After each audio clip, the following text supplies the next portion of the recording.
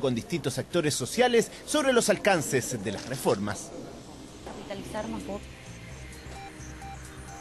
Bien, vamos a seguir revisando otras informaciones internacionales, porque comienza la cuenta regresiva para que los argentinos den inicio a las elecciones para elegir al presidente que los va a gobernar los próximos cuatro años. Uno de los desafíos más importantes que deberán enfrentar es la inflación. Para conversar sobre este tema nos acompaña Felipe Vergara, quien es analista político de la Universidad Andrés Bello. Felipe, gracias por acompañarnos acá esta tarde. Lo decía ahí, ya estamos en la cuenta regresiva, este domingo son las elecciones, 32 millones de argentinos llamados a votar. Pero ¿cuáles son las claves, esos elementos a los que tenemos que estar atentos en estas elecciones? Porque entiendo hay varios hitos que se podrían marcar con esto. Bueno, una de las primeras claves y quizás la más emblemática es el, eventual quiebre que se pudiera dar en, los gobiernos peronistas que solo han tenido un par de, un par de lapsus de la Rúa en un minuto y Alfonsín anteriormente. Pero la, la, la esencia está particularmente por el hecho de que hoy día sí existe una real posibilidad de de una segunda vuelta que no se ha dado en la historia argentina. Nunca se ha concretado esa segunda vuelta. Claro, nunca se ha concretado porque Menem con 25% de votos pasó a, lideró en su minuto y pasó a segunda vuelta, pero después astutamente prefirió marginarse antes de, antes de perder y salir siempre definiéndose como que nunca perdió una elección. Pero no es, no es el caso de, de ahora. Tenemos tres fuerzas, tres fuerzas importantes. Una que es la continuación de, del kirchnerismo, del peronismo como partido, pero con algunos matices. Choli no representa el 100% de los principios eh, peronistas. Ha tenido ciertos matices. Su rol más, más cercano al mundo empresarial también le, ha jugado ahí unas diferencias importantes con, con Cristina Kirchner. Cristina Fernández, que, podría marcar alguna, algunas Contemos quiénes son, porque son seis los candidatos, pero hay dos o tres los que tienen más posibilidades de, seguir avanzando. ¿Quiénes son esos candidatos? los más fuertes son Daniel Choli, que ha sido ministro, que, es eh, gobernador del, del, Gran Buenos Aires. Eh, provincia clave claro, provincia tremenda y muy muy emblemática para todo este tema. Eh, paradójicamente los tres tienen un rol súper importante en el... En Buenos Aires en, claro, en Buenos Aires. Y que es como la continuidad de lo que podría ser el, gobierno de Cristina Fernández. Mauricio Macri, empresario, ingeniero, con, un perfil eh, más del ámbito privado y del ámbito, futbolístico, fue presidente de Boca Junior. Eh, podría no ser relevante, pero la verdad es que en, un mundo tan futbolizado como es Argentina, que alguien sea eh, de, Boca Junior, afortunadamente para él, que sea de Boca Junior, pero es una persona de centro derecha, y los de centro derecha también son, son, son River Plate, entonces ahí se podrían fusionar eh, eventualmente lo mejor de los dos. No se ha sesgado el voto por el claro, solo por el fútbol, claro. Y tenemos a Sergio Massa, que trabajó en el gobierno de, Cristina Fernández y salió con, con, algunos eh, eh, problemas y que hoy día tiene un 20% de, popularidad en las encuestas. Esos son los más importantes. Tenemos a, a Adolfo Rodríguez Sá, que fue nueve, nueve días presidente de, de Argentina en este constante ir y venir después de la, de la arrancada en helicóptero del, de, la Rúa. Ahí hubo, pasaron seis, siete, siete eh, presidentes por día, pero no, pero no tienen ninguna posibilidad. Esos son los tres, los tres grandes hitos. Tenemos un mundo de más bien izquierda, que es el que lidera Choli, tenemos un mundo más bien de centro derecha, que es el de Macri, y tenemos un mundo que tiene cierto pololeo eh, de manera transversal que, es más. Ser heredero de Cristina Fernández, políticamente, ¿termina siendo una carga o una ventaja para estos candidatos? A mí me parece que para, para, el, para la, la realidad argentina, con el nivel de popularidad que, tiene Cristina Fernández, podría ser un, mm. plus. Eh, nosotros lo miramos desde afuera, el análisis internacional, lo, lo, cuando uno lee los titulares de los principales medios, Financial Times, eh, los, medios, eh, el, Bloomberg, por ejemplo, hablan de cualquiera, cualquier resultado es mejor que Cristina Fernández. Ese, es el principio que, inspira.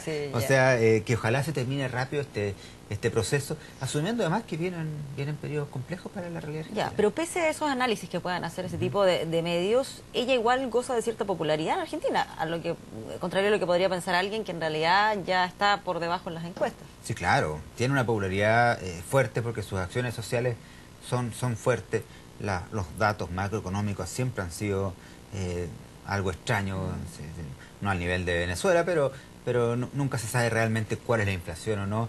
Y como buen gobierno peronista, eh, su foco está en los sectores más, más populares y, los más dañados, por ende, son, son el sector más, más empresarial. Entonces goza de cierta, de cierta popularidad eh, caudillista, populista, de poca de poco contenido profundo, pero que sí mm. llega bastante a, los... o sea, pese a las promesas de cambio que hagan estos candidatos, probablemente van a mantener alguna de esas políticas que han marcado su gestión. Estoy pensando fútbol para todos, eh, temas de nacionalización.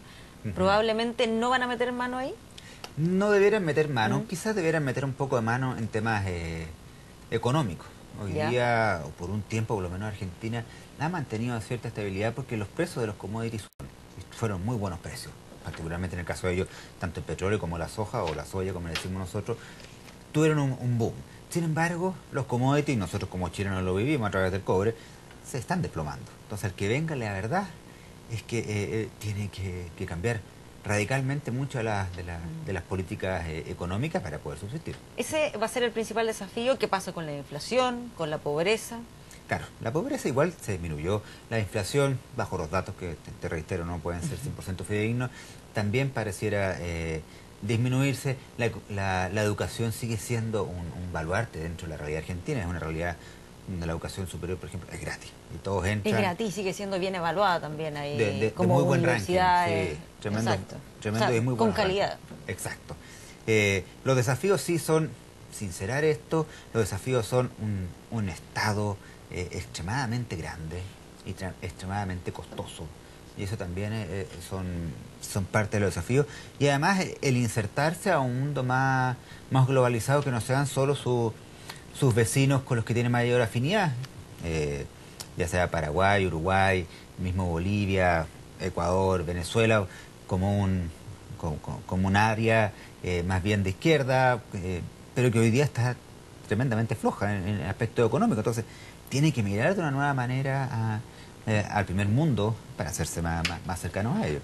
Ahora, ¿cómo crees que va a ser recordada Cristina Fernández? ¿Qué ¿Cuál va a ser la figura que va a quedar ahí en los libros de historia? Esta figura tan, tan polémica también, que, y con todas sus, sus matices, sus ideas que, ha presentado lo que ha sido su mandato. Bueno, la figura de partida cambió bastante, eh, producto de las propias cirugía estética, la fuimos viendo como, entonces, como figura figura no me atrevería a, cómo de, definirla, pero, pero mira, los países en general y, los, y nosotros, que somos los que los elegimos, tenemos re mala memoria.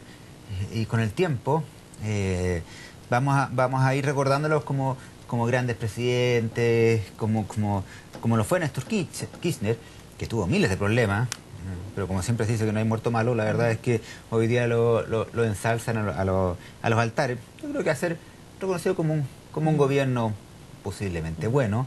Eh, algunos estarán en contra, otros estarán a favor, eh, pero desde el contexto internacional, a mí me parece que estos años del kirchnerismo, y particularmente estos últimos años de Cristina Fernández, van a ser... Eh, van a ser dañinos y han sido un retroceso para la, proyección internacional de, Argentina, no solo en aspectos de, económicos, sino que en aspectos de probidad. Tenemos un juez que, que fue asesinado en su domicilio por investigar a la, a la presidenta. Tenemos antecedentes e historias relacionadas con el atentado a, a, la, a la, sede de eh, musulmana por parte posiblemente de perdón, a la sede judía por parte de, musulmanes apoyados por, por Menem, que también quedan impunes ante esta situación, que es la razón de la muerte del Claro, pero son elementos que uno podría pensar... Eh, podrían apuntar a que la gente votara por una alternativa distinta. Sin embargo, tú me dices que es el candidato eh, Daniel Scioli, que es el que el heredero de Cristina Fernández, el que va ahí ganando las encuestas al menos. Claro, asumamos también, al igual que en el caso chileno, en el caso chileno, en la última encuesta, un 9% de la población chilena está informada de temas políticos. Imagínense cómo, cómo debe ser eh, Argentina. O sea, a la gran mayoría, los temas políticos, propiamente tal, de quién gana, quién pierde, de, los enredos que puede haber tenido el ministro de, Economía en su minuto, que si es comunista o no es comunista, la verdad es que le importa poco. Lo que le importa es que tenga... Eh, los alimentos, las necesidades básicas cubiertas. Y eso hoy día se, se cumple. Uno espera más.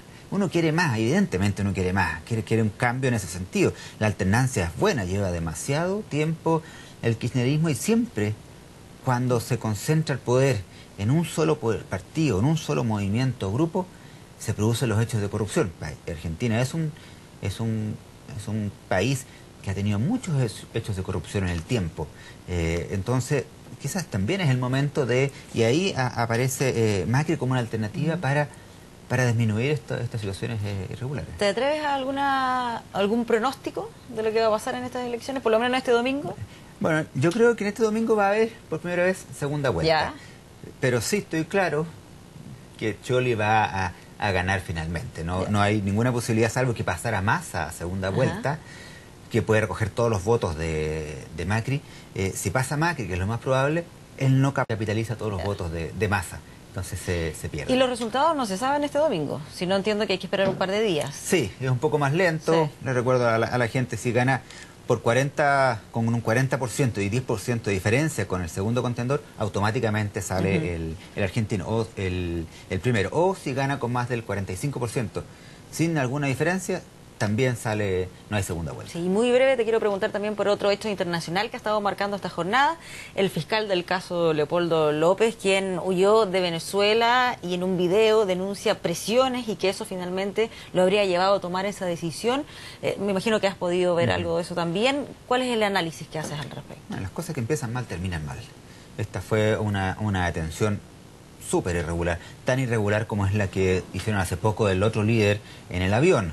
Eh, con juicios que son, que son falsos, con, con, con todo una puesta en escena que no, que no se condice, donde los datos no, no, son demostrables, donde no hay nada más que una llamada a, a, votar, es decir, a marchar en contra de un gobierno, lo que es extremadamente democrático y, claro, libre. El fiscal acá habla de eh, que lo obligaban a defender pruebas falsas. Y, no me cabe la, la menor duda porque cuando uno se adentra un poco y con los, con los antecedentes que uno va manejando, tanto de gente que vive en Venezuela como de los medios eh, más disidentes dentro de Venezuela y fuera de Venezuela, eh, esto es un armado eh, para acallar a la, a, la, a, la, a la, ciudadanía tomando preso y con eso dejando un poco, un poco acéfalo lo, la oposición. El, argumento del otro lado es que esto también es un armado para desestabilizar el gobierno de Nicolás Maduro. Sí, claro. Pero la verdad es que no es primera vez que el, gobierno de Nicolás Maduro, de manera bastante más bruta de como lo hacía eh, Chávez, eh, cae en situaciones que, demuestran que no es más que, que, ocultar irregularidades tratando de, salvarse ellos mismos, pero de una manera bastante bastante burda y bastante barata. Sí, no, un tema que va a seguir provocando varias reacciones, así que muchas gracias por habernos acompañado esta tarde con tu análisis, Felipe. Vamos con otras informaciones. Tras el anuncio de la radicalización del paro del registro